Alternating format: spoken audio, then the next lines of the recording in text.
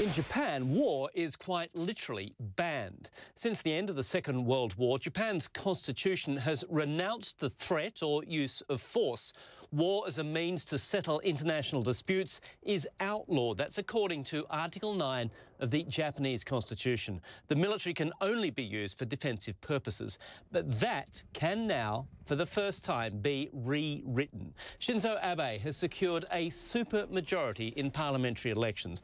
That means his coalition has at least two thirds of the seats, and with that majority, he can now push to rewrite the constitution, in particular Article 9.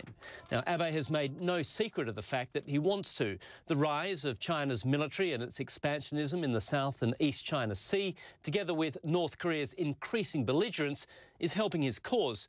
But he is likely to move slowly. After the vote, Abe would only say he wants to deepen the debate on the Constitution. There's no timeline or indeed no real government plan as yet. Even when there is, any change has to be put to the people in a national referendum, all of which could take years.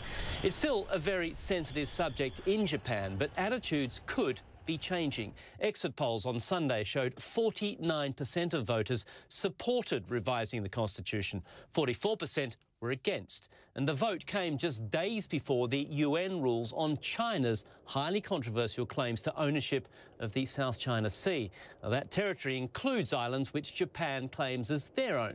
And with China already saying it will ignore the UN ruling, the Japanese Prime Minister may find his support for constitutional change continues to grow.